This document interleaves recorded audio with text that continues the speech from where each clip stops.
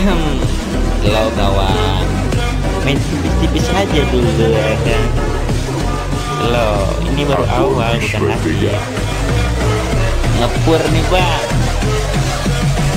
Tunggu aja tanggal mainnya. Aja.